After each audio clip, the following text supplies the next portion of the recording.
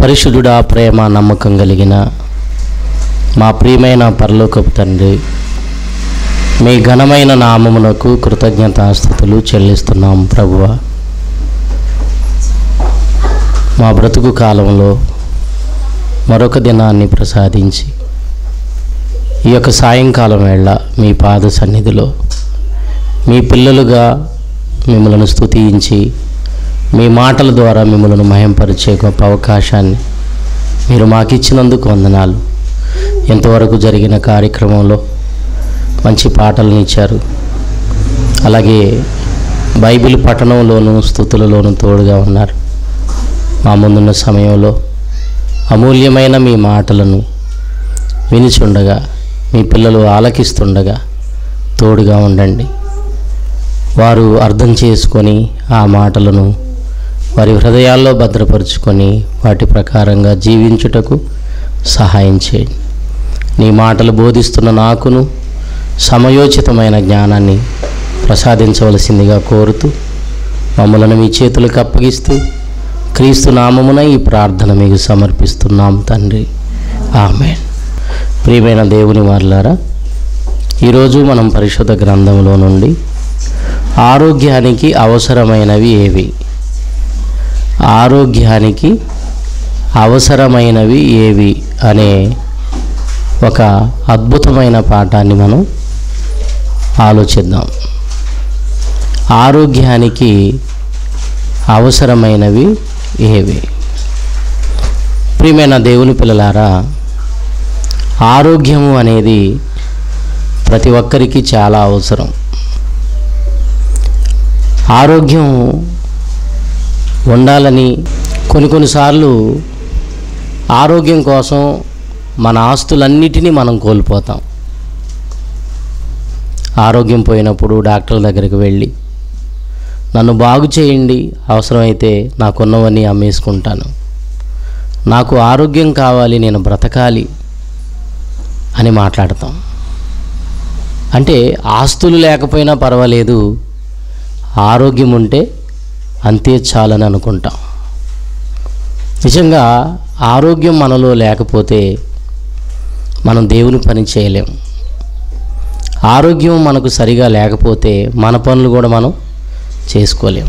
ఇంటిలో ఉన్న వాళ్ళకి బంధువులకు మనం చాలా భారం అయిపోతాం.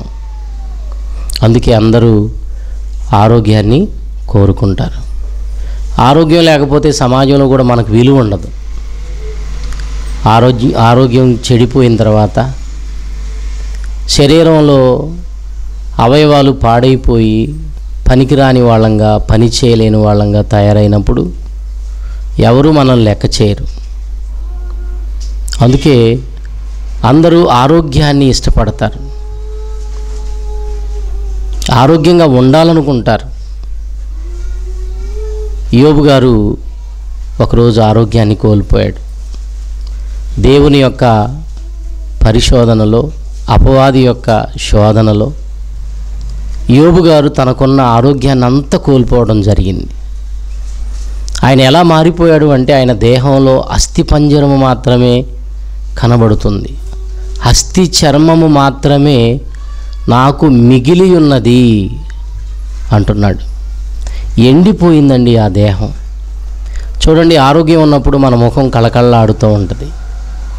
ఎప్పుడైతే ఆరోగ్యం దెబ్బతింటుందో లోపల అవయవాలు ఎప్పుడైతే పాడైపోతుంటాయో మన ముఖ కవళికలు మారిపోతాయి. మన రంగు మారిపోతుంది మన రూపం మారిపోతుంది మన ఆకారం మారిపోతుంది. యోబు గారి పరిస్థితి కూడా అలానే అయిపోయింది.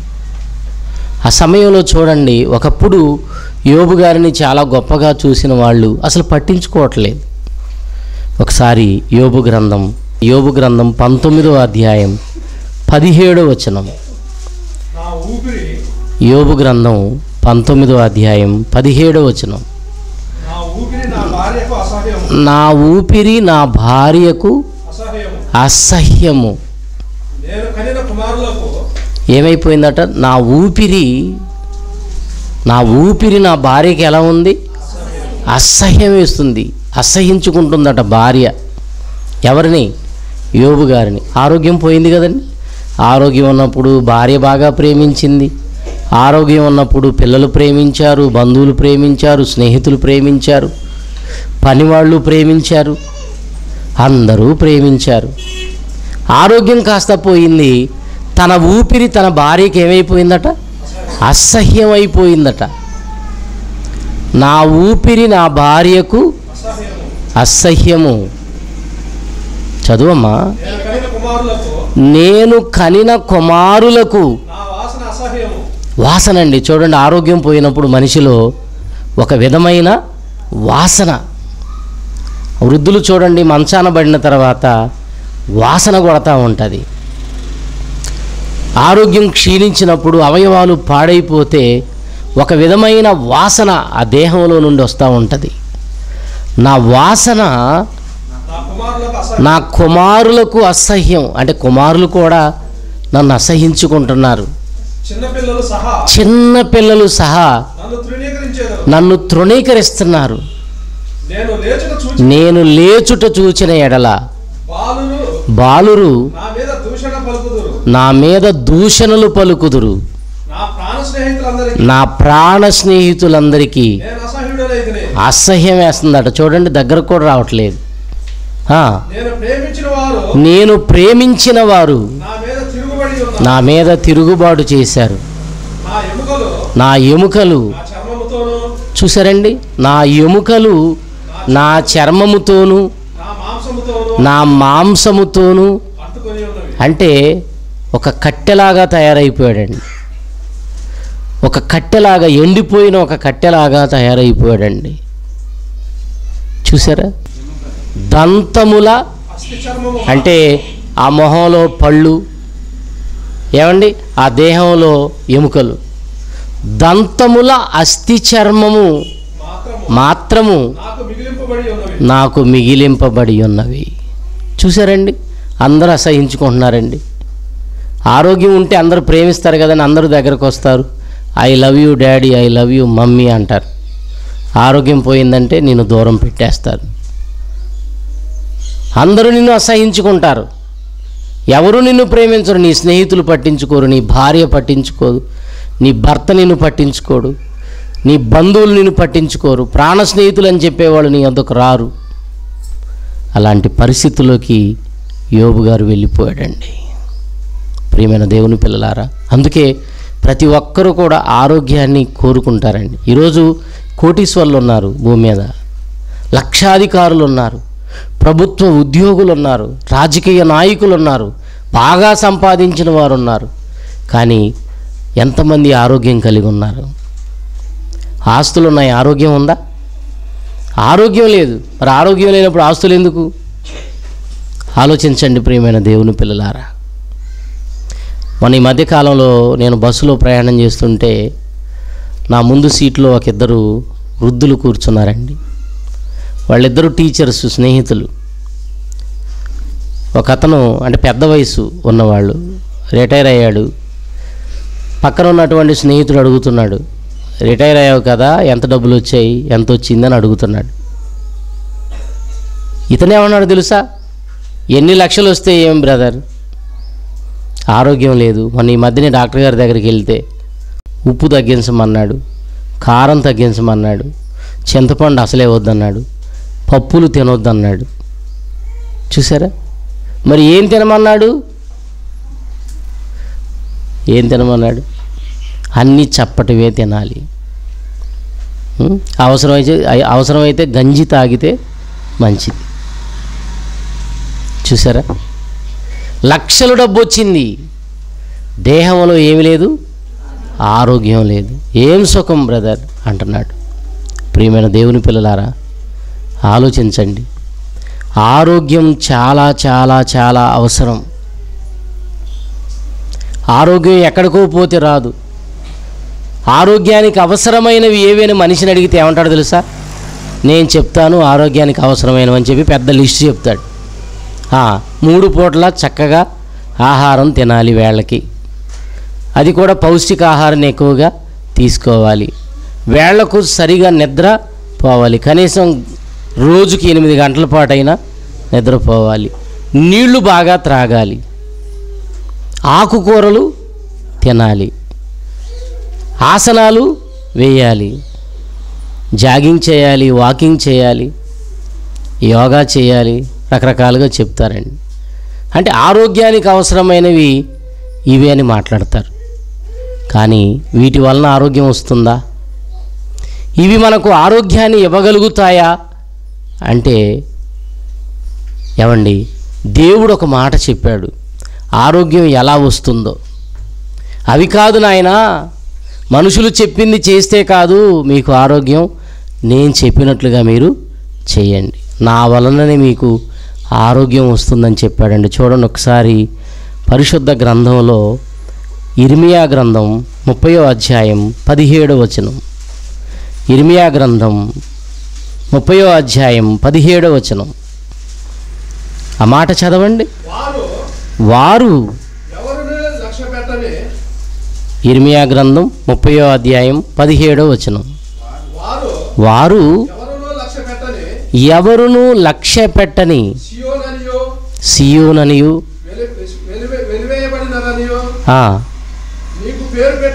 నీకు పేరు పెట్టుచున్నారు.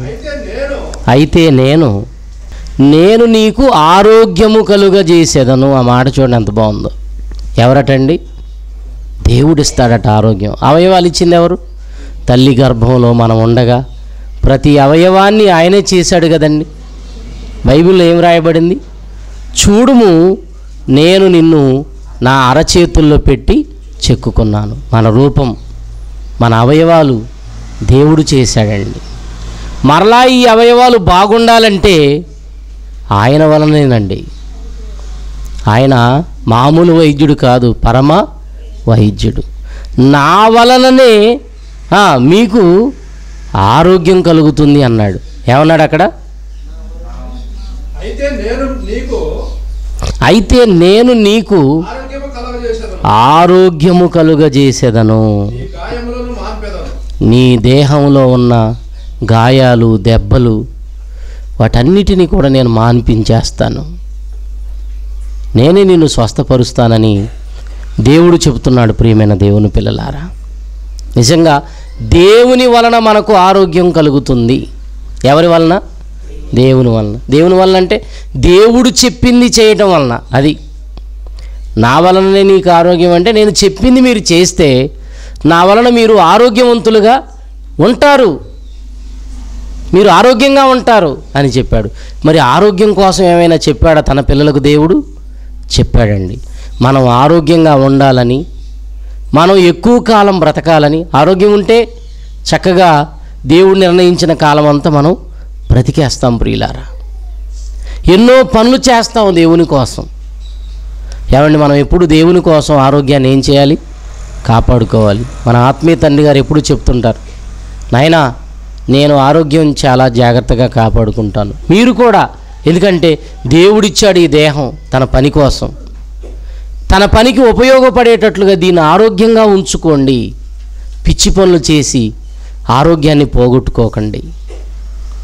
ఆరోగ్యంగా ఉంటే దేవుని పనుల్లో మీరు చక్కగా ముందుకు వెళ్ళగలుగుతారు అని ఆయన ఎప్పుడు చెప్తూ ఉంటాడు. దేవుడు తన పిల్లలు ఆరోగ్యంగా ఉండాలని ప్రారంభం నుండి జాగ్రత్తలు తీసుకుంటూ ఆయన చెప్పిన మాటలు చూడండి. ఆది కాండము ఒకటి ఇరవై ఎనిమిది చదవండి.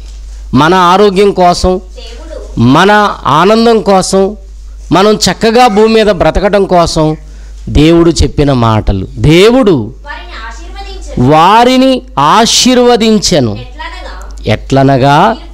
మీరు ఫలించండి అభివృద్ధి పొందండి విస్తరించండి భూమిని నిండించండి దానిని లోబరుచుకోండి అన్నాడు. ఇక్కడ మీకు ఏమర్థమైంది అర్థమైంది? మీరు ఫలించండి. అభివృద్ధి పొందండి. విస్తరించండి. భూమిని అంటే భూమి మొత్తం కూడా మీరు విస్తరించాలి. భూమి మొత్తం మీదకి వెళ్ళిపోవాలి. ఏమండి? భూమి మీద పుట్టిన వాళ్ళు భూమి మీద భూమి మీదకు విస్తరిస్తూ భూమి మొత్తాన్ని భూమి మొత్తంలో ఉండాలా? వెళ్ళిపోవాలా? ఒక చోట ఉండకూడదా? ఉండకూడదు. భూమిని నిండించండి అంటే మొత్తం భూభాగాన్ని అంతా మీరు కప్పేయండి.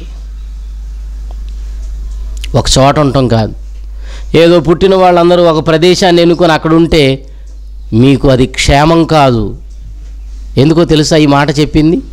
భూమి మీద అందరూ అలా విస్తరిస్తూ భూమి మొత్తం మీదకి ఎందుకు వెళ్ళాలంటే ఆరోగ్యంగా ఉండటం కోసం. యావత్తు భూమి మీద కాపురం ఉండటం అన్నాడు బైబిల్లో. అపోస్తల కార్యాలు పదిహేడు ఇరవై ఆరులో ఎక్కడెక్కడ కాపురం ఉండాలట? యావత్తు భూమి మీద కాపురం ఉండుటకు ఆయన ఒకరి ఎక్కడ ఉండటానికి యావత్తు భూమి మీదకి వెళ్ళాలి ఒక చోట కాదు. వింటున్నారా? అందరూ కట్టగట్టుకుని ఒక చోట ఉండటం కాదు. భూమి మొత్తానికి వెళ్ళిపోవాలట. యావత్తు భూమి మీద కాపురముండుటకు ఆయన ఒకరి నుండి ప్రతి జాతి మనుషులను సృష్టించాడు. అంటే భూమి మొత్తం మీదకి వెళ్ళాలా? వెళ్ళాలి. ఏ అందరూ ఒక చోట ఉండకూడదా? ఉంటే ప్రమాదం. అందరూ ఒకే చోట ఉంటే చాలా ప్రమాదం. అందరూ ఒకే చోట ఉంటున్నారు అనుకోండి వేల మంది లక్షల మంది ప్రజలు. ఆరోగ్యం వెంటనే దెబ్బతింటదండి. ఒకసారి మాకు హైదరాబాదులో ఒక సేవకులకు ఒక పెద్ద సదస్సు నిర్వహించారండి. దగ్గర దగ్గర అక్కడికి ఒక రెండు వేల మంది వచ్చారు. ఒక పెద్ద గుడారాలు వేసేసి మా కోసం ఒక్కొక్క సేవకునికి ఒక మంచం తెచ్చారు. ఇక్కడ ఓ మంచం అక్కడ ఓ మంచం పక్క పక్కనే మంచాలు వరుసగా వేసేశారు. ఇక తినడం ఆ మంచాల్లో అక్కడ ఉండటం. ఇక రెండు రోజులైంది మూడు రోజులైంది నాలుగు రోజులైంది. అది వారం రోజులు ఉండాలి అక్కడ. ఇక ఒకళ్ళకి జ్వరం ఒకళ్ళకి విరోచనాలు ఒకళ్ళకి ఒళ్ళు నొప్పులు ఒకళ్ళు దగ్గటం అన్నీ ప్రారంభమయ్యాయి. కారణం అందరూ ఒక చోట ఉంటే ఆరోగ్యంగా ఉండలేమండి. అందరూ ఒకే చోట ఉండడం వలన ఆరోగ్యంగా ఉండలేం. కొద్ది రోజులకే ప్రాబ్లమ్స్ వస్తాయి. మరి ఎక్కువ కాలం బ్రతకాలంటే కుదరదండి. అందుకే దేవుడు యావత్తు భూమి మీదకు వెళ్ళాలి మీరు. యావత్తు భూమి మీద కాపురం ఉండుటకే నేను ఒకరి నుండి మిమ్మలను సృజించాను అన్నాడు. ప్రారంభ మానవులు భూమి మీద విస్తరించకుండా మేము ఒకే చోట ఉండాలని ఒక పట్టణాన్ని ఆకాశానికంటే ఒక పెద్ద గోపురాన్ని కట్టుకోవాలని వాళ్ళు ప్రయత్నం చేసి పనిని కూడా ప్రారంభించారు. చూడండి ఆదికాండము పదకొండవ అధ్యాయము నాలుగవ వచనం. ఆదికాండం పదకొండవ అధ్యాయం నాలుగవ వచనం. మరియు వారు మనము భూమి ఎందంతటా చెదిరిపోకుండా ఒక పట్టణమును ఆకాశమునకు అంటూ శిఖరము గల ఒక గోపురం ఎక్కడ అంటాలి దేన్ని అంటాలి? ఆకాశానికి అంటు అంటిపోవాలంటే ఊరి నాయన ఎంత ఎత్తు ఉండాలి అది? ఆకాశమునకంటూ శిఖరము గల ఒక గోపురమును కట్టుకొని పేరు సంపాదించుకుందాము. రండి. మళ్ళా చదువున్నాను నాలుగో వచ్చిన మరియు వారు మరి దేవుని సంకల్పం ఏంటి? యావత్తు భూమి మీదకు వెళ్ళిపోవాలి. అంతే కదా? యావత్తు భూమి మీద కాపురం ఉండాలి. వీళ్ళు ఏమంటున్నారు భూమి మీద మనం ఎటూ చెదిరిపోవద్దు. అందరం ఒకే చోట కట్టు కట్టుకొని ఉందామని ఉండడం కోసం ఒక పట్టణాన్ని ఒక గోపురాన్ని స్టార్ట్ చేశారు. అది దేవుని సంకల్పానికి విరుద్ధమే కదండి. ఆరోగ్యంగా ఉండలేరు. అందరూ ఒక చోటే ఉండడానికి కాదు. దేవుడు ఎంత పెద్ద భూగోళాన్ని చేసింది. ఎందుకు చేశాడు ఎంత పెద్ద భూగోళం? ఏమండి? మనం ఆరోగ్యంగా ఉండాలి. ఒక్కొక్క చోట అందరూ విడివిడిగా కాపురాలు చేస్తూ ఆరోగ్యంగా ఉండాలని దేవుడు కోరుకున్నాడండి. కానీ వీళ్ళంతా ఒకే చోట ఉండడానికి ప్లాన్ చేసుకొని గోపురం ప్రారంభించారు. వెంటనే దేవుడు అక్కడ ఆ పని ఆపేయాలనుకొని వెంటనే ఆయన చేసిన తీర్మానం ఏంటంటే భాషలు తారుమారు చేయాలి. అప్పటి వరకు భూమి మీద ఒకే భాష ఒకే పలుకుంది. కానీ ఆ గోపురం కట్టడం ఎప్పుడైతే ఆరంభించారో దేవుడు అక్కడ వారి భాషలను ఏం చేశాడు? తారుమారు చేశాడు. తారుమారు. బాబేలు అంటే తారుమారు. బాబేలు గోపురం అంటున్నాం కదా. బాబేలు అంటే అర్థం ఏంటి? తారుమారు. ఏం తారుమారు అయిపోయింది భాషలు తారుమారయ్యాయి. ఆ రోజుల్లో కట్టడం కోసం ఇటుకలు వాడుకునేవాళ్ళు. దానికి ఈరోజు మనం సిమెంట్ ఎలా వాడుకుంటాం వాళ్ళు ఆ రోజుల్లో కీరు వాడుకునేవాళ్ళు.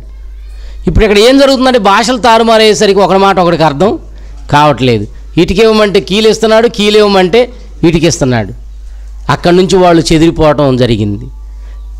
ఎవడ భాష ఎవడికి అర్థమవుతుందో వాళ్ళందరూ కూడా ఒక ప్రాంతానికి. వీడి భాష అర్థమైన వాళ్ళు వీ వేరే ప్రాంతానికి అలా ఒక్కొక్క ప్రాంతానికి వెళ్ళిపోయారు. ఈరోజు చూడండి ఒక్కొక్క ప్రాంతంలో ఒక్కొక్క భాష మాట్లాడేవాళ్ళు మనకి కనబడతా ఉంటారు. భాషలను దేవుడు తారుమారు చేశాడు. ఎందుకంటే నా పిల్లలందరూ ఒకే చోట ఉంటే వాళ్ళు ఆరోగ్యంగా బ్రతకలేరు. భూమి మీద చెదిరిపోవాలి. మన ఆరోగ్యం కోసం దేవుడు తీసుకున్న నిర్ణయం ప్రియమైన దేవుని పిల్లలారా. ఎందుకు మన ఆరోగ్యం కోసం అంత శ్రద్ధ ఎందుకు అంటే ఆయన మన తండ్రి.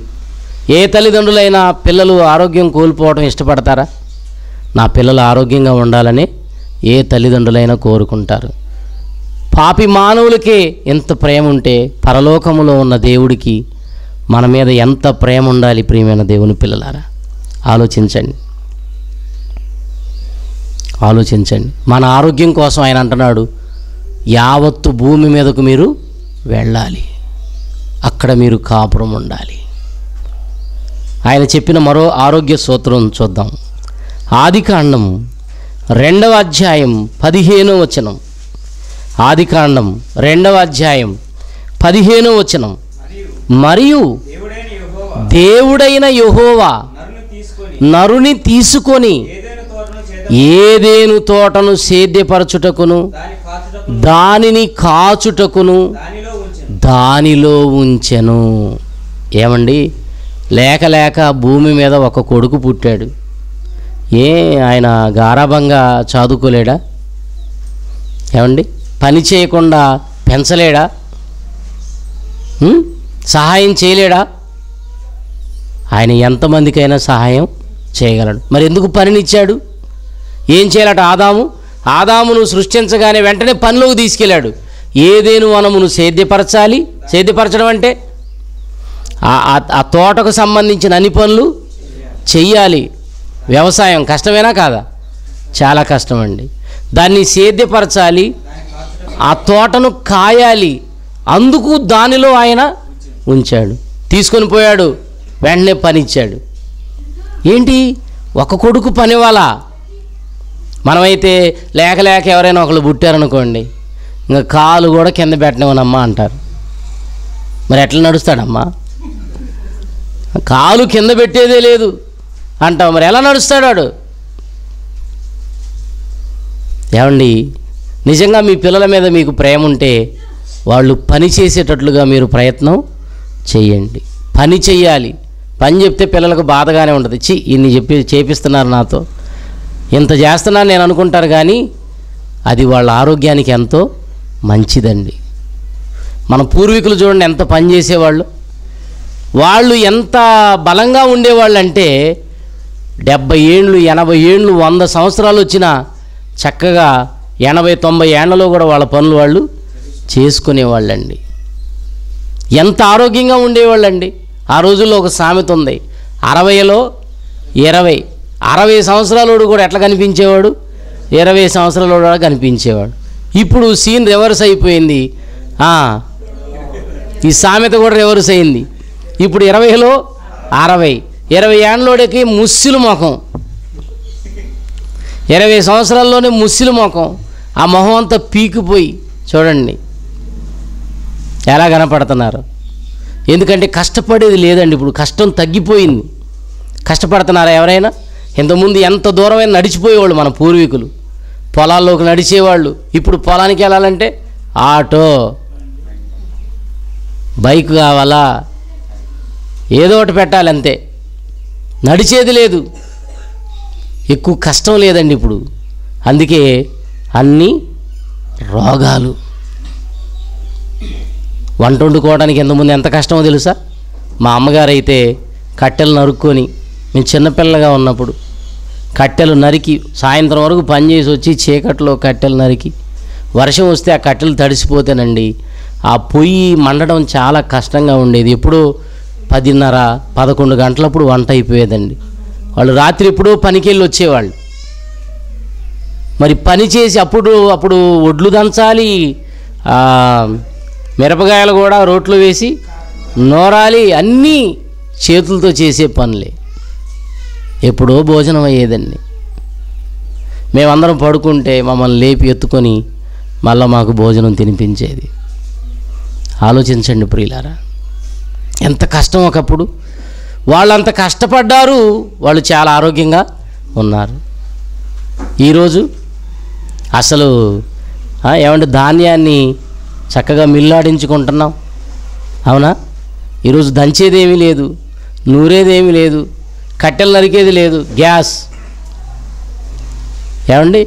అలా పెట్టామో లేదో వెంటనే విజిల్స్ వస్తున్నాయి. నేను రెడీ. మీరు కూడా తినడానికి రెడీ అయిపోండి. ఎక్కడుందండి కష్టం? ఎక్కడుందండి కష్టం? బట్టలు ఉతుక్కునే వాళ్ళు ఇంతకుముందు. పెద్ద మూట పెట్టుకుని నెత్తి మీద అలా వెళ్ళిపోయి చెరువుకో కాలువకో ఏటికో వెళ్ళిపోయి బట్టలు ఉతికేవాళ్ళు. ఇప్పుడు మిషన్లు వచ్చాయి. అందులో పడేయటం కాలు మీద కాలేసుకొని కూర్చోవటం. ఇంతకుముందు పెద్ద పెద్ద కాలువలు కూడా మనుషులు ఎత్తురువేవాళ్ళు ఇప్పుడు అన్ని యంత్రాలు వచ్చేసాయి. కోతలు. పని చేస్తే మనం ఎలా ఉంటాం? ఆరోగ్యంగా ఉంటాం. అందుకే ఆదామును సృష్టించిన తర్వాత వెంటనే దేవుడు పనిలోకి తీసుకెళ్ళాడు. ఇప్పుడు మన పనే కాదు. ఇప్పుడు మనకి సువార్త ప్రకటించే పని కూడా దేవుడు ఇచ్చాడు. మీరు సర్వలోకమునకు వెళ్ళి చూసారా? ఇప్పుడు సువార్త ప్రకటించడానికి వెళితే నడుస్తాం కదండి కష్టపడతాం కదండి. అంటే కష్టపడండి అని చెబుతున్నాడు ఎప్పటికీ. మీరు సర్వలోకమునకు వెళ్ళి సర్వ సృష్టికి సువార్తను ప్రకటించండి. నమ్మి బాప్తిస్మం పొందినవాడు రక్షింపబడును నమ్మని వానికి శిక్ష విధింపబడును. చూసారా దేవుని పని. మన పనులు మనం చేసుకోవాలి. తర్వాత దేవుని పనులు మనం చేయాలి. పని చేస్తేనే మనం ఆరోగ్యంగా ఉంటాం. పని చేసే వాళ్ళని చేయనివ్వండి. చాలామంది ఒళ్ళు దాచుకుంటారు. పుట్టెడు రోగాలు వస్తాయి. ఏంటిది? అన్నీ నేనే చేయాలా? నేనే చేయాలని బాధపడుతుంటారు కానీ పని చేయటం వల్ల నా శరీరంలో నాకు మంచి ఆరోగ్యం ఉంటుంది అని ఎవరన్నా ఆలోచిస్తున్నారండి? పని చెబితే బాధపడుతున్నారు. సోమరులు అయిపోయారు. ఏమైపోయారు? సోమరులు. అందుకే సోమరులు ఎక్కడికి వెళ్ళమన్నాడు? ఒరే సోమరోడా నువ్వు చీమడి వద్దకు వెళ్ళు అన్నాడండి. సామెతల గ్రంథం ఆరో అధ్యాయము ఆరో వచనాన్ని చూడండి. పని చెయ్యని వాడు సోమరివాడు. చూడండి సోమరి వాళ్ళకి ఏం చెప్పాడు? ఒకసారి సామెతల గ్రంథం ఆరో అధ్యాయము ఆరో వచనం చదవండి. సోమరి ఎక్కడికి వెళ్ళాడట? చీమల యొద్దకు వెళ్ళుము. వాటి నడతలు కనిపెట్టి. ఏం తెచ్చుకోవాలి? జ్ఞానము తెచ్చుకోవాలి. వాటికి న్యాయాధిపతి లేకున్నను. పై విచారణకర్త లేకున్నను. అధిపతి లేకున్నను. అవి వేసవి కాలమందు ఆహారాన్ని కష్టపడి సిద్ధపరుచుకుంటున్నాయట. కోతకాలము కోతకాలమందు ధాన్యమును కూర్చుకుంటాయట. సోమరి సోమరివాడా ఎందాక పడుకుంటావురా నీవు? ఎప్పుడు లేస్తావురా నీవు నిద్ర? వాడు అనుకుంటాడట మంచంలో పడుకొని ఇంకొంచెం నిద్రించేదను. ఇప్పుడే పడుకున్నాడా? వాడు ఎప్పుడు సాయంకాలం ఏడు గంటలకు పడుకున్నాడు. వాడు అనుకుంటాడట మళ్ళీ ఉదయం ఏడైనా పన్నెండు గంటలు పడుకున్నా ఇంకొంచెము కొనికేదను. కొంచెము సేపు మొత్తం లోపలే అంత దుప్పట్లోనే కొద్దిసేపు చేతులు ముడుచుకునేదను. పరుండెదనని పరుండేదనని నీవు అనుచుందువు అందుచేత దోపిడిగాడు వచ్చినట్లు దారిద్ర్యం. తినడానికి తిండి ఉండదు కట్టుకోవడానికి బట్టలు ఉండదు సరైన ఇల్లు ఉండదు ఈ సోమరాళ్ళకండి ఇండ్లు ఉండవండి సోమరాళ్ళకి బట్టలు ఉండవండి సోమరాళ్ళకి సరైన తిండి ఉండదండి ఇంట్లో. కారణం ఏంటి సోమరి. వీడు ఎప్పుడు ఏం చేయాలా? పని చేయకుండా నిద్రపోవాలి. కొంతమందికి అండి కూర్చున్న నిద్ర వస్తుందండి నాకు అర్థం అవ్వదు మనకు కళ్ళు మూసుకున్న నిద్ర రాదు. కూర్చున్న నిద్రే ప్రయాణంలో నిద్రే గురకలు పెట్టి పడుకుంటారండి బాబు. పని చేయరు. వేసవి కాలం వచ్చింది అంటే చకచక చకచక తమ పనులు ముగించుకుంటాయట. ఏంటి? చేమలు. బయటికి వెళ్తాయి. ఎక్కడ ఆహారం దొరుకుతుందో వెళ్ళిపోతాయి. కష్టపడి ఆహారాన్ని తీసుకొచ్చుకొని ఆ పొట్టలో ఆ నిల్వ చేసుకుంటాయండి. కోతకాలం వచ్చినప్పుడు ఇదే అనుకూల సమయం అని చెప్పి చకచక వాటికి సంబంధించిన ఆహారాన్ని అంతా సమకూర్చుకుంటాయండి. ఎందుకంటే వర్షాకాలం వస్తుంది. బయటికి రాలేవు. తిరగలేవు. ఆహారం తెచ్చుకోలేవు. రాబోయే రోజుల్లో మరి సుఖంగా బ్రతకాలంటే మాకు ఇప్పుడే కష్టపడాలని చేమలు కాలాన్ని ఇరిగి కష్టపడుతుంటే మనిషికి తెలియటం లేదండి. సోమరుడట పాత్రలో చేయి ముంచుతాడట. దానిని నోటి దగ్గరికి ఎత్తనే ఎత్తడంట. అలా చూస్తుంటాడట. ఎందుకో? ఎవడైనా వచ్చి నోట్లో పెడతాడేమోనని. అంటే వాడి పాత్రలో ఉన్న వాడి కంచంలో ఉన్న భోజనాన్ని కూడా ఎత్తుకొని నోటి దగ్గర పెట్టుకోడండి. చూసారా? ఎంత సోమరితనం అంటే ఇద్దరు స్నేహితులు ఉన్నారట పక్క పక్కనే కూర్చున్నారట. వీళ్ళిద్దరూ సోమరోళ్ళే. ఒకడు మూతి మీద ఈగోలిందంటండి ఆ పక్కనోడు చెబుతున్నాడు అరే ఫ్రెండు మూతి మీద ఈగోలిందిరా అంటే కొంచెం తోలిపెట్టరా ఫ్రెండు అన్నాడట వీడు. అంటే మూతి మీద ఈగ వాలిన తోలుకోలేని బద్ధకస్తులండి ఎంత సోమరోళ్ళండి. పని చేయాలి. ఎందుకో తెలుసా? నువ్వు ఆరోగ్యంగా ఉంటావు. పని చేయనోడికి ఆరోగ్యం ఉండదు. పని చేయనోడికి తిండి ఉండదు. పని చేయనోడికి బట్టలు ఉండవు. పని చేయనోడికి ఇల్లు ఉండదు. పిల్లలకు కూడా ఏమీ చేయలేడండి. అందుకే కష్టపడే మనసు మనకి ఉండాలి. ఎంత కష్టపడితే అంత మంచిదండి. దేవుని పనిలో కష్టపడాలి మన ఇంటి పనులలో కష్టపడాలి మన కుటుంబ పోషణ కోసం మనం కష్టపడాలి.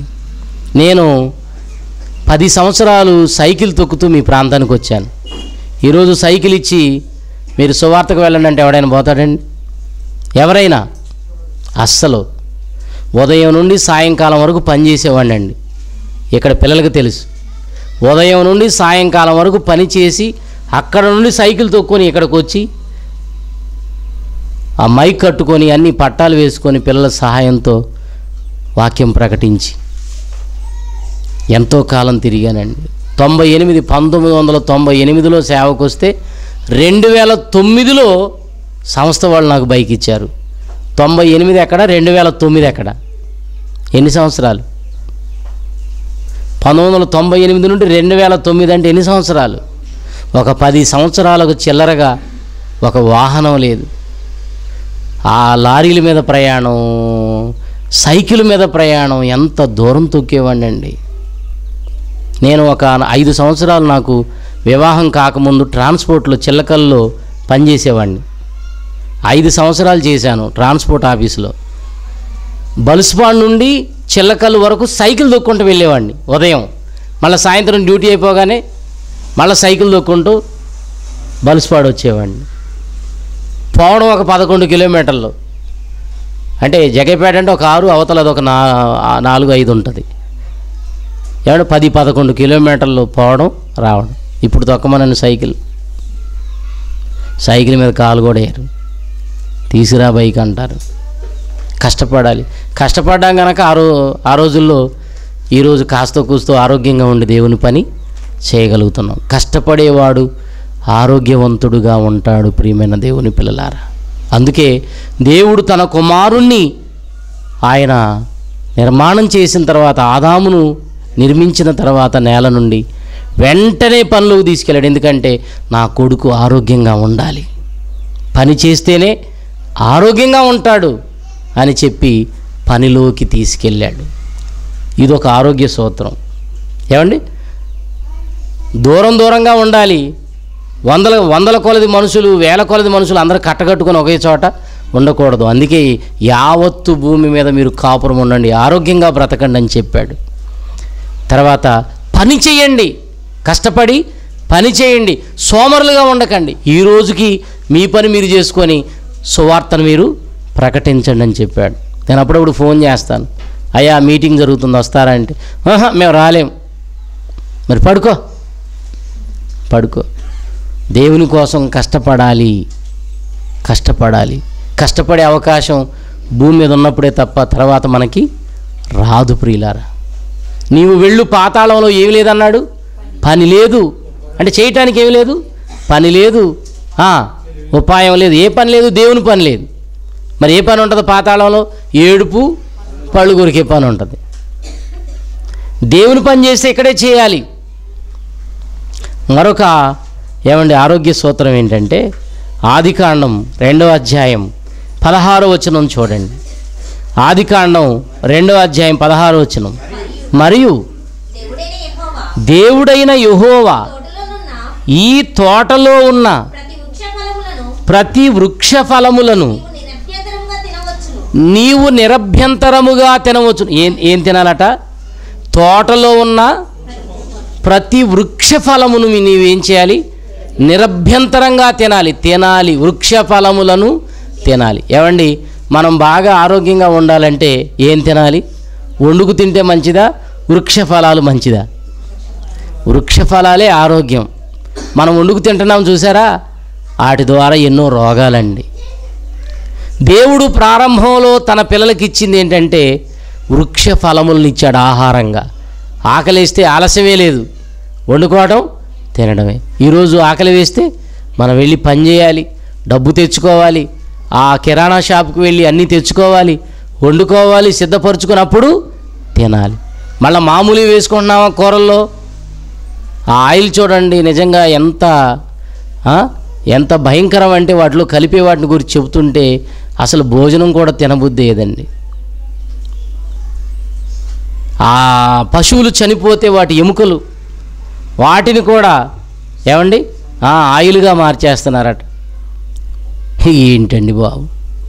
రకరకాలవి మిక్స్ చేసి ఆరోగ్యం మీద దెబ్బ కొడుతున్నారండి. అన్నీ కల్తీ ఇప్పుడు.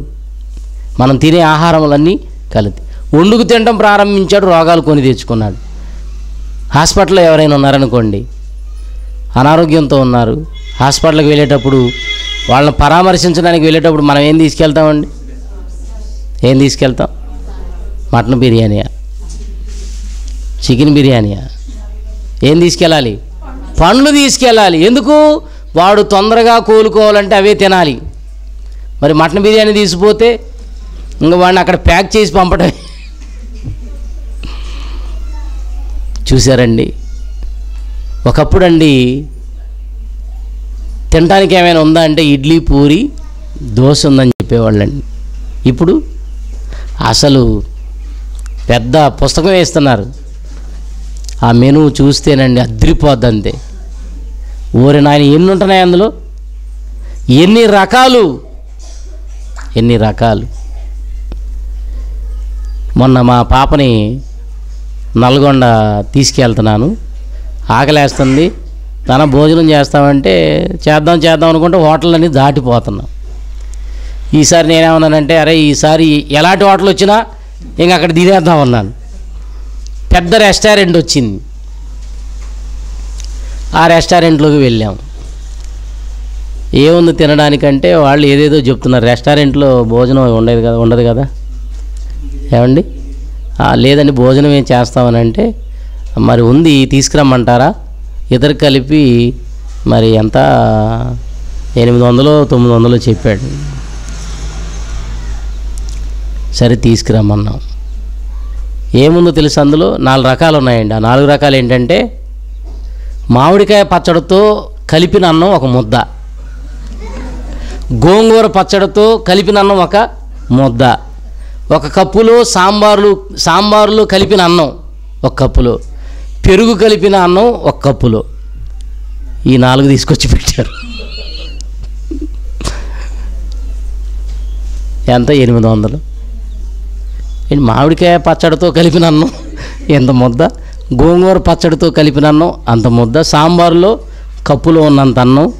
ఒక కప్పులో పెరుగు క కలిపిన అన్నం తింటేనండి కడుపులో ఎంత మంటలేస్తుందో. ఏంట్రా ఈ రెస్టారెంట్ ఎలా ఉందంటే అంతేనా అని అంటుంది మా పాప. ఏమండి ఆరోగ్యం చెడిపోయే విధంగా ఏవేవో వేస్తున్నారండి. ప్రియమైన దేవుని వారిలారా ఆలోచించండి. ఈ ఫాస్ట్ ఫుడ్ సెంటర్లో ఆహారం దొరుకుతుంది చూసారా వాటిలో కలిపే ఆయిల్స్ అవన్నీ మీరు చాలా ప్రమాదం అండి ఆరోగ్యానికి. తొందరగా చచ్చిపోతాడు మనిషి. కానీ టేస్ట్గా ఉంటాయి. ఫాస్ట్ ఫుడ్ అంటేనే నువ్వు ఫాస్ట్గా నేను గోతులకు పంపించేది అది. ఫాస్ట్ ఫుడ్ అంటే ఫాస్ట్గా చచ్చిపోతావు. ఫాస్ట్గా చచ్చిపోవాలనుకుంటే మా దగ్గరికి రండి. అనగానే మనం ఏం చేస్తాం? మేము పోవాలి మేము పోవాలని చెప్పేసి ఫాస్ట్గా వెళ్ళటం ఫాస్ట్గా తినేయటం రోగాలు తెచ్చుకొని చావటం. చూసారా ఒక హోటల్కి వెళ్ళి ఏముందండి తినడానికంటే రెస్టారెంట్కి వెళ్ళి? టైం పదకొండు అయిందండి ఏం లేదు. చికెన్ సిక్స్టీ ఫైవ్ ఉంది తింటారా? అన్నాడండి చికెన్ సిక్స్టీ ఫైవ్ అంటే చికెన్ని ఎన్ని రకాలుగా వండడం మనిషి నేర్చుకున్నాడండి? అది సిక్స్టీ ఫైవ్ అరవై ఐదో రకం అది. అంటే ఒక చికెన్నే ఎన్ని రకాలుగా వండుతున్నాడు? అది అరవై ఐదో రకం అంటే ఇక ఎన్ని రకాలుగా వండుకుంటున్నాడో చూడండి మనిషి. ప్రియమైన దేవుని పిల్లారా ఆలోచించండి. దేవుడు ఒకప్పుడు ఫలాలను ఇస్తే ఏమంటే మనిషి రాను రాను తన ఆహారాన్ని మార్చేసుకొని ఆరోగ్యాన్ని పాడు చేసుకుంటున్నాడండి. ఇదొక ఆరోగ్య సూత్రం పండ్లు ఎక్కువగా తినాలి. ఈ మధ్యకాలంలో ఆరోగ్యం చెడిపోతుంటే రాత్రిపూట ఫ్రూట్సే తినండి. అన్నమేమి తినకండి. శుభ్రంగా నాలుగు పండ్లు తిని పడుకోండి అని చెప్తున్నారు.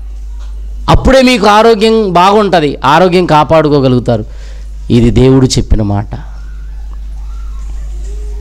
ఆలోచించండి. ఈ మటన్ మటను చికెను ఇవన్నీ తినడం కంటే కాస్త ఫిష్ అంటే కొంచెం ఆరోగ్యానికి మంచిదండి. పర్వాలేదు మంచి పౌష్టికాహారం అది. కానీ మిగతా ఉన్నాయి చూసారా? చాలా ఇబ్బంది అండి మొన్న డాడీ గారు చెప్తున్నారు ఎద్దు మాంసం. ఇది తింటేనండి హార్ట్ అటాక్ తొందరగా వస్తుందంటండి. గుండెకు సంబంధించిన వ్యాధులు తొందరగా వస్తాయి. ఆ క్రొవ్వు పేరుకుపోయి రక్తం కూడా ప్రసరణ సరిగా జరగకుండా ఆ క్రొవ్వు అడ్డుకుంటుందట. తినమాకండి నాన్న ఎక్కువ తినొద్దు మీరు చచ్చిపోతారని చెప్తున్నాడు. ఆలోచించండి. మనకి ఆరోగ్యానికి ఏదైతే ఇబ్బందిగా ఉంటాయో అవే కావాలి. తెచ్చేసుకోవడం ఓ విపరీతంగా. ప్రతాపం చూపిస్తుంటాం. ఆ తర్వాత హాస్పిటల్కి వెళ్ళి కూర్చొని ఏడుతూ ఉంటాం. ఆరోగ్యానికి అవసరమైనవి ఏమంటే దేవుడు చెప్తున్నాడు. ఆలోచించండి. మంచి ఆహారాలు మనం తీసుకోవాలండి. మాంసాహారం పెద్దగా మంచిది కాదు. అవునా? దేవుడు ఏమన్నాడు? మాంసా మాంసమును ఎక్కువగా తినేవాడితో కానీ ద్రాక్ష రసమును త్రాగువాడితో కానీ మీరు సహవాసం చేయొద్దన్నాడండి. వద్దు. ఎందుకు? మీ ఆరోగ్యం పాడవుతుంది. ఏమంటే ఫ్రూట్స్ కానీ గింజలు చూడండి శాకాహారం అది చాలా మంచిది. దానియుల గ్రంథంలో ఒక సందర్భం ఉంటుంది. ఏమండి? ఆ రాజు నెబద్ నెజర్ గారు కొంతమంది యూదుల్లో నుంచి యవన యవనస్తులను పట్టుకొచ్చాడు.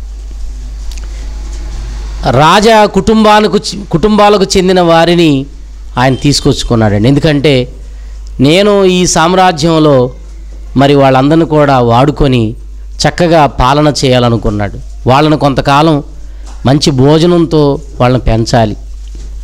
జ్ఞానవంతులైన వాళ్ళని తీసుకొచ్చారు. ఆయన ఎలాంటి భోజనం ఏర్పాటు చేశాడో తెలుసా? రాజభోజనం చేయాలట వాళ్ళు. రాజభోజనం అంటే ఏముంటాయండి అందులో? మాంసాహారాలు రకరకాలవి. ఉంటాయి. అప్పుడు వాళ్ళు ఏం కోరారు తెలి వాళ్ళు ఏం కోరారండి? శాఖధాన్యములను మాకివ్వమని కోరుకున్నారండి. ఒకసారి దానియేలు గ్రంథం చూడండి ప్రియమైన దేవుని పిల్లారా దానియేలు గ్రంథం మొదటి అధ్యాయం. దానియేలు గ్రంథం మొదటి అధ్యాయం పన్నెండో వచనం. భోజనమునకు శాఖధాన్యములను పానమునకు నీళ్ళు పానమునకు నీళ్ళును నీ దాసులమగు మాకు ఇప్పించి దయచేసి బ్రేకులు వేయకండి నాన్న. దయచేసి పది దినముల వరకు మమ్మల్ని పరీక్షింపు మమ్ములను పరీక్షింపుము అంటున్నారండి. పిమ్మట మా ముఖములను రాజు నియమించిన భోజనము తినేవారి ముఖములను ఒకసారి మీరు చూచి మీకు తోచినట్లుగా మీ దాసులమైన మా ఎడల జరిగించుము అంటున్నారండి. ఎవరండి వీళ్ళు? శద్రకు మెషేకు అభేదనగోలు ఏం కోరుకుంటున్నారు వీళ్ళు? మాకు రాజు నియమించిన భోజ భోజనాలు వద్దు మాకు. మాకు శాఖధాన్యాలే కావాలి. ఆహారం విషయంలో చూడండి ఎంత జాగ్రత్తగా ఉన్నారు. మనకు మాంసాహారం పెడతామంటే ప్రాణం లేచి వస్తూ ఉంటుంది. అవునా? నాన్ వెజ్ ఉందండి అక్కడంటే అబ్బు అల్లాడిపోతాం. అంత వెజ్ అంటే? అబ్బా వెజ్జేనా ఏ నాన్ వెజ్ వండొచ్చు కదా అంటుంటాం మనం. మాకు శాఖధాన్యాలు ఇవ్వండి త్రాగడానికి కాస్త మాకు నీళ్ళు ఇవ్వండి నీళ్ళు చూడండి నీళ్ళు చాలా మంచిదండి. ఎన్నో ప్రాబ్లమ్స్ రావండి నీళ్ళు ఎక్కువగా త్రాగితే. నీళ్ళు బాగా త్రాగాలి. మనకి ఆరోగ్యం చెడిపోయినప్పుడు కూడా డాక్టర్ గారి డాక్టర్ దగ్గరికి వెళ్తే ఏం చెప్తారండి వాళ్ళు? ఒక నాలుగైదు లీటర్లైనా రోజుకు త్రాగండి అంటారు. నీళ్ళు త్రాగాలి. తర్వాత శాకాహారాన్ని మనం ఎక్కువగా గింజలు ఆ శాఖ ధాన్యములను తీసుకోవాలి. ఓ పది రోజులు తిన్నారట వాళ్ళ ముఖాలు ఎలా ఉన్నాయండి? రాజభోజనం చేసే వారి ముఖాల కంటే వీళ్ళ ముఖాలే కళకళలాడుతున్నాయి. ఎక్కువ మాంసం తింటే ముఖంలో అందం ఉండదండి. ఎక్కువగా మాంసం తింటా ఉంటే ముఖం జిడ్డు గారిపోతూ ఉంటుంది. మీరు చూడండి పరీక్ష చేయండి. అదే శాఖాహారాన్ని ఎక్కువగా తీసుకునే వాళ్ళని చూడండి వాళ్ళు చాలా కళకళగా అందంగా సౌందర్యంగా కనబడతారు. నీళ్ళు బాగా తీసుకోవాలి. ముఖం కాంతివంతంగా ఉంటుంది. దేవుడు మన ఆరోగ్యం కోసం ఎన్ని పెట్టాడండి. నీళ్ళు ఎక్కువగా తీసుకుంటే కిడ్నీలో ఉన్న రాళ్ళు కూడా ఏమైపోతాయట? కరిగిపోతాయట. నీటికి ఎంత శక్తి ఉందో బైబిల్లో రాయబడింది చూడండి ఒకసారి. యోబు గ్రంథం పద్నాలుగో అధ్యాయం పంతొమ్మిదో వచనం. యోబు గ్రంథం పద్నాలుగో అధ్యాయం పంతొమ్మిదో వచనం. ఒకసారి చదువుతారా? జలము. రాళ్ళను కూడా అరగదీస్తుందంట. కిడ్నీలో ఉన్న రాళ్ళు కూడా? జలము అంటే నీరు. జలము రాళ్ళను అరగదీస్తుందట చూడండి.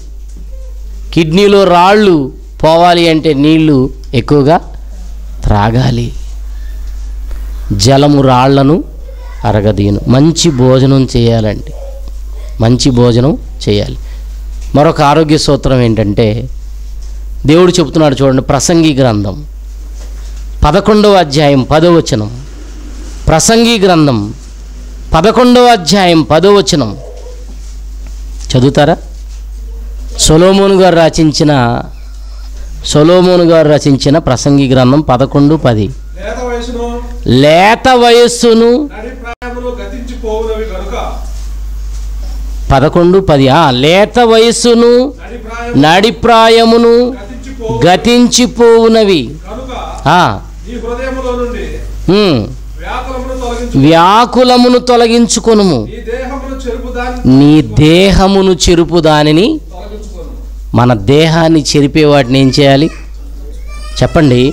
నీ దేహమును చెరుపు వాటిని తొలగించుకొను మన దేహాన్ని చెరిపేవేంటండి ఒకసారి మీరు చెప్పండి. మన దేహాన్ని చెరిపే మన ఆరోగ్యాన్ని పాడు చేసేవేంటి కొంతమంది చూడండి.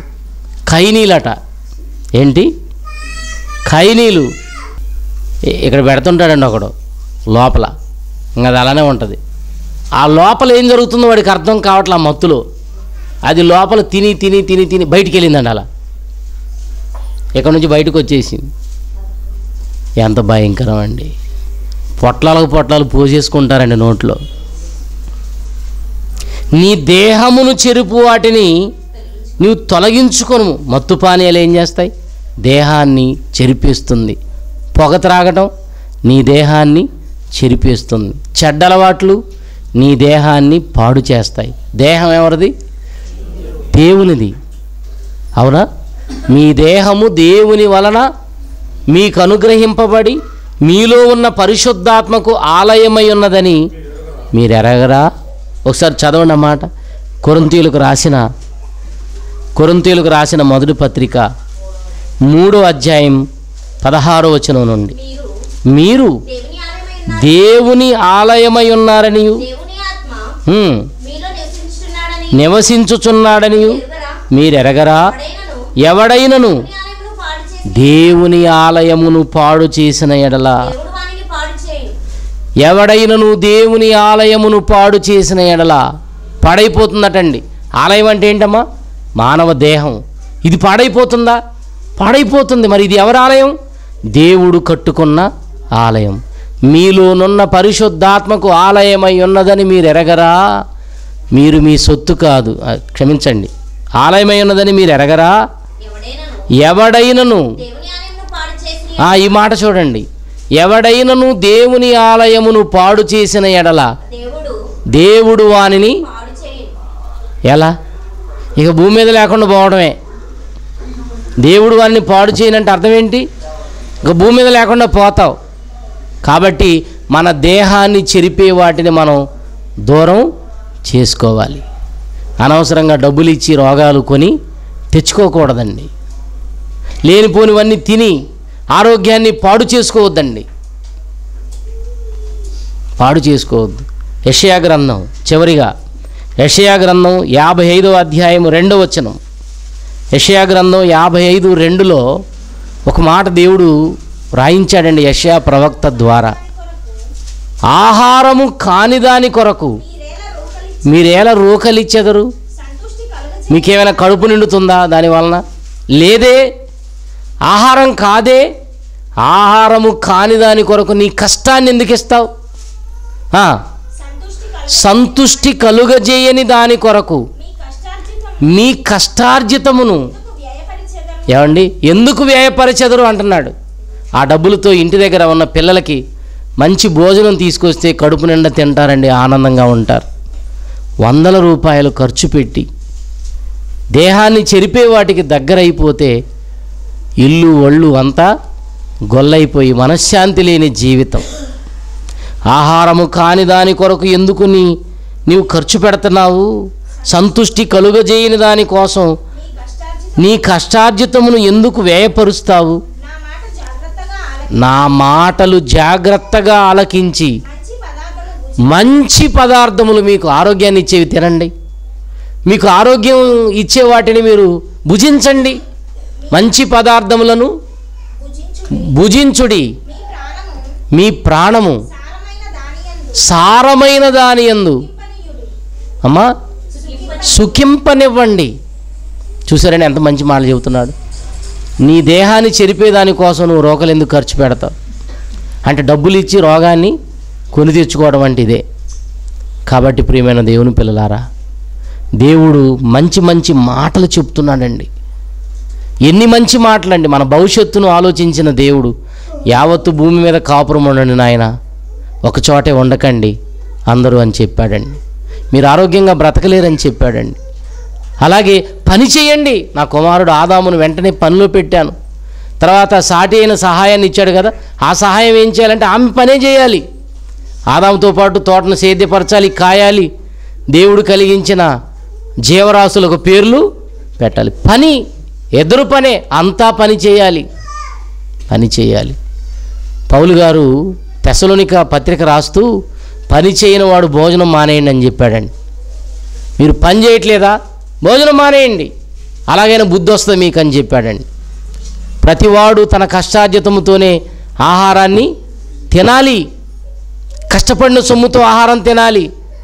పరుల మీద పడి బ్రతకండి. జాగ్రత్తగా ఉండండి అని చెప్పాడండి. ఆలోచించాలి ప్రియులారా. ఇంకా ఏం చెప్పాడు? మీకోసం ఫలాలు ఇచ్చాను ఫలాలు తినండి. ఇంకా ఏం చెప్పాడు? మీ యొక్క దేహాన్ని చెరిపే వాటిని మీ నుండి దూరం చేసుకోండి. ఇవన్నీ ఏంటి? ఆరోగ్యానికి దేవుడు చెప్పిన సూత్రాలు.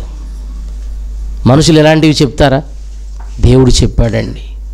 దేవుడు చెప్పాడు మనం ఆరోగ్యంగా ఉండాలని. ఎందుకంటే ఆయన పని కోసం కదండి మనం పుట్టింది. ఆరోగ్యంగా ఉంటే ఆయన పని చేయగలుగుతాం. ఆరోగ్యంగా ఉంటే పాడగలుగుతాం. ఆరోగ్యంగా ఉంటే ప్రసంగించగలుగుతాం. ఆరోగ్యంగా ఉంటే అనేక ప్రాంతాలకు వెళ్ళగలుగుతాం. ఆరోగ్యం లేకపోతే దేవుని కోసం ఏం చేయగలం?